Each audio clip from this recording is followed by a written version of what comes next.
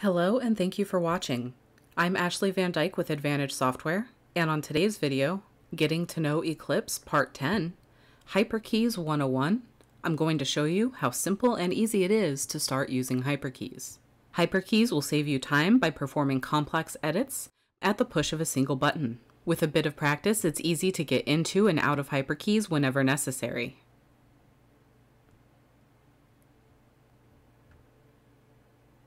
I've prepared the sample file that has some errors that need to be corrected, and I'm going to show you how you can use hyperkeys to correct them.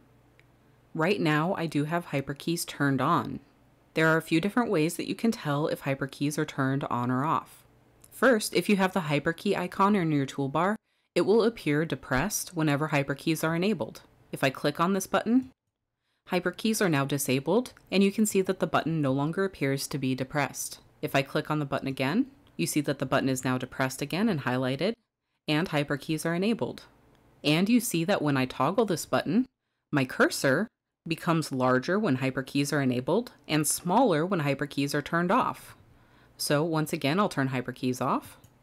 You see that my cursor has become narrow, and when I turn hyperkeys back on, my cursor becomes thicker. This particular setting is controllable. You can change how thick your cursor is with hyperkeys on or off, by going to your user settings, to the display tab, and to cursor size and hyperkey size.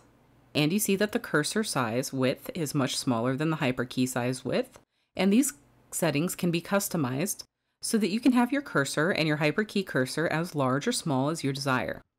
I'm going to leave mine set at the default, but you see that since I do have the thick cursor, I know that hyperkeys are enabled. There's a third place that I can tell if hyperkeys are enabled as well. Down in the bottom right hand corner of my screen in my status bar, I see the letters HYP. If I toggle hyperkeys off once more, HYP disappears. And of course, since hyperkeys are a keyboard based system intended to save time, you can of course toggle hyperkeys on and off with the keyboard. If I press Alt Z, hyperkeys turns on, and if I press Alt Z one more time, hyperkeys turns off. And all three indicators across my screen from the button to my cursor to my status bar icon all change in unison. So it's easy to know whenever hyperkeys are on or off. In addition, if you're an info bar user, you'll notice that in the info bar on the left, I do have my hotkeys displayed. And when I toggle hyperkeys off, the hotkey that is displayed changes back to the standard key. And when I toggle hyperkeys back on, the hotkey listed changes to the hyperkey. You'll see the same action in the drop-down menus at the top of the screen. Wherever there's an appropriate hyperkey for a function, the hyperkey will be listed instead of the standard key whenever hyperkeys is enabled. So Eclipse makes it easy not only to know what your hyperkey status is, but to turn hyperkeys on and off, as well as to be easily reminded of the hyperkeys that you may frequently use. Additionally, if I go to Support, Documentation, there is an Eclipse HyperKeys PDF. I can open this PDF, and this is a complete keyboard map of all of the hyperkeys in Eclipse. If you're a new hyperkey user, I recommend printing this out so that you can refer to it. All of the keys listed in blue would be pressed by themselves when hyperkeys are enabled in order to take this action. The keys listed in dark red would be pressed with Shift, as you see down here in the map guide. The keys listed in green would require that Control is pressed with them, and the keys listed in purple require that Alt is pressed. This is an excellent guide to refer to when you're learning hyperkeys. I'm going to close this for now, and I'll close the documentation folder as well. There are several errors in this document that I've prepared that I'd like to correct. However, the first hyperkeys you should familiarize yourself with are those to move through the document. Since I have hyperkeys enabled, I can use L to move to the right, word by word. I can use K to move down line by line. I can use J to move left word by word, and I to move up line by line. These function the same way that the arrow keys do, and they're laid out in exactly the same format so they're easy for your fingers to learn. However, they're on your home row of keys, so as you're editing through your document, Moving will require less movement from your hands, resulting in speedier more efficient editing. The first error that I need to correct is actually the name of this company. The company is 15 South, and the South should be capitalized. And I want to make sure that whenever these words appear in my document further on, that not only is South capitalized, but that 15 and South are locked together so that they can't be separated onto separate lines. There's a hyperkey to automatically global two strokes. I can press Alt 7 to global two strokes, Alt 8 to global three strokes, Alt 9 to global four strokes, and Alt 0 to global five strokes. I'm going to press Alt 7 to global 15 and South together. And the tools to capitalize and lock these words together are right at my fingertips already. I can press Alt C to capitalize South, and Alt L to insert a lock space between both words. And since I want to put this into my job dictionary, instead of clicking the drop down list to select the job dictionary, I can simply press Ctrl J. And this entry is now in my job dictionary as you can see in the bottom right. The next error in this document that I'm going to correct, if I use the L hyperkey to move to the right, I land on the word audit, and this should actually be auditor. I'm going to press hyperkey W to bring up the prefix suffix list, and I'll press R to select the R ending. And you see that auditor has automatically been entered into the document and spelled correctly. The next error that I'm going to correct is here in the accounting and department.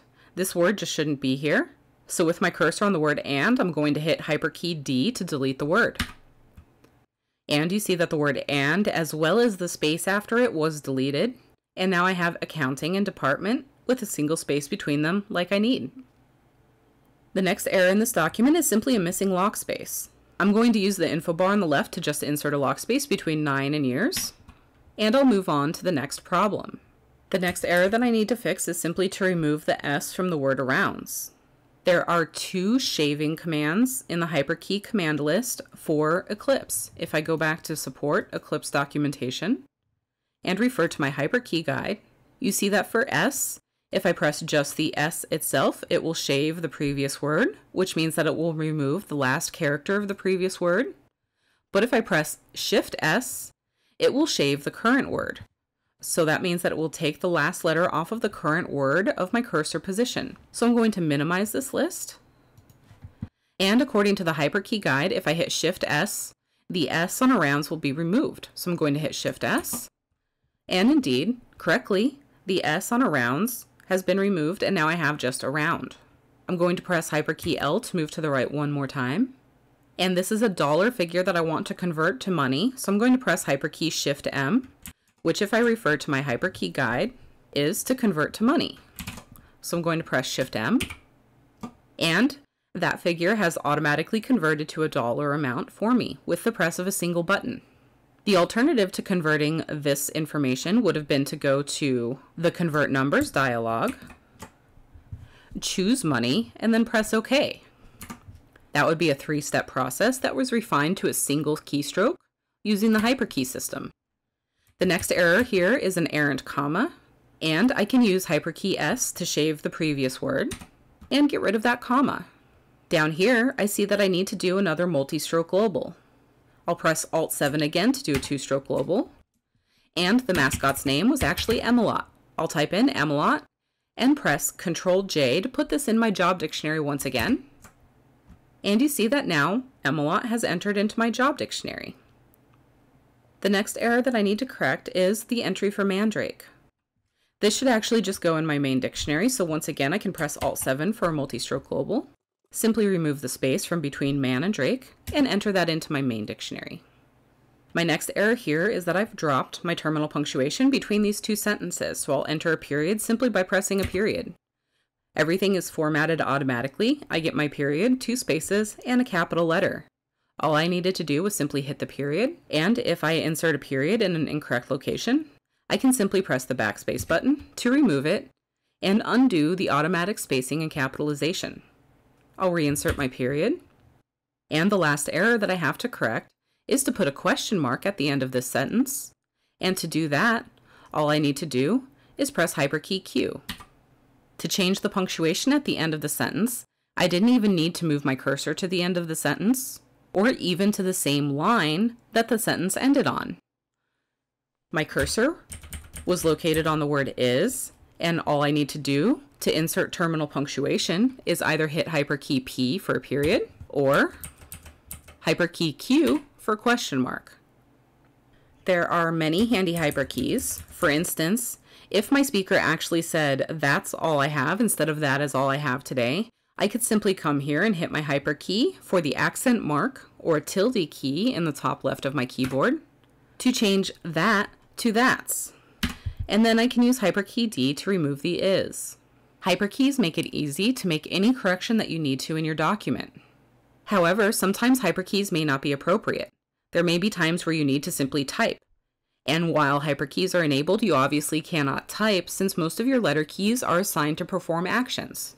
So if I did need to type, for instance, if the speaker actually did say, I think that is all I have today instead of that's all I have today, I could shave off the apostrophe S and using hyperkey N, go into type mode. You see that as soon as I hit hyperkey N, my cursor changed to the narrow cursor. And at the bottom right, instead of hyperkey mode, I'm in type mode. Type mode allows me to type anything literally. For instance, if I insert a period right now, I don't get any automatic formatting, and that's because I'm in type mode. While in type mode, I'm going to get only the keys that I hit with no automatic control from Eclipse. So I can type in is, and once I'm done with type mode, I can press enter. And you see that hyperkeys have automatically been re-enabled now that I'm done typing.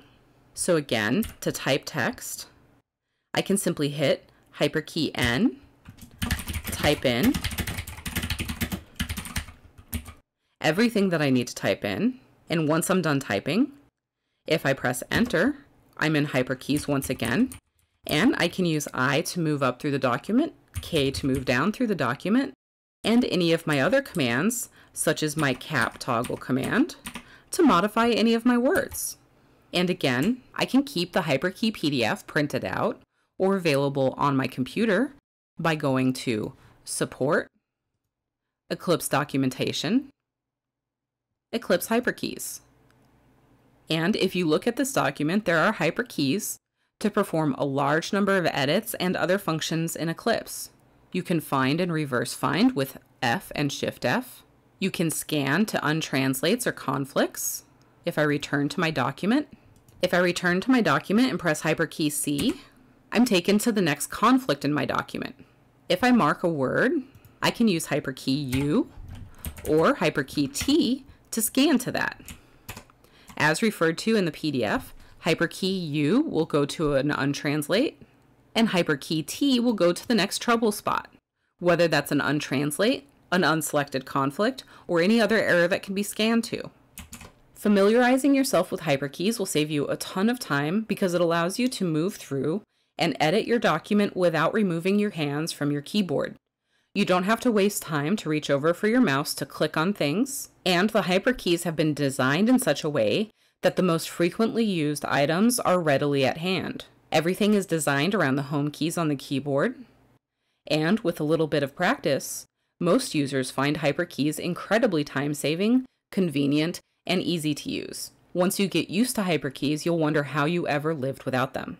In this short example, I didn't show you everything that hyperkeys are capable of. It could take hours to show you all of the ways that hyperkeys can save you time. I hope that you will give hyperkeys a try because with only a little bit of practice, they do become second nature. In addition to basic editing and movement commands, hyperkeys also include audio commands. You'll see here that all of your audio commands are available and specified in the hyperkey list as well. And of course, while hyperkeys are active, all of the regular commands work. While I have hyperkeys active, I can still press Ctrl G to global instead of just hitting G. Either command will work. The important thing to remember is that hyperkeys will only work while hyperkeys are enabled. If you need to type text while hyperkeys are enabled, simply press hyperkey N, type anything that you need to type, and hit enter once you're done typing. That works much the same way as type mode does when you need to type numbers when you're an infobar user. If you're already familiar with enabling type mode in order to type numbers and then hitting enter to go back to using the info bar, transitioning to hyperkeys will be fairly similar. Thank you for watching this video. I hope that you'll give hyperkeys a try. Don't forget that you can always print out the HyperKey map so you can refer to it anytime. If you have any questions about HyperKeys, or any of Eclipse's other great features, or Advantage Software's other amazing products, don't forget that you have access to anytime support 24 7. Tech support can be reached anytime, including weekends and holidays, at 772 288 3266. Email support is also available at support at eclipsecat.com. Thanks so much for watching. Please hit the thumbs up button if you enjoyed this video, and subscribe to our channel and turn on notifications so that you'll be notified when we publish new content in the future. Thanks so much and have a great day.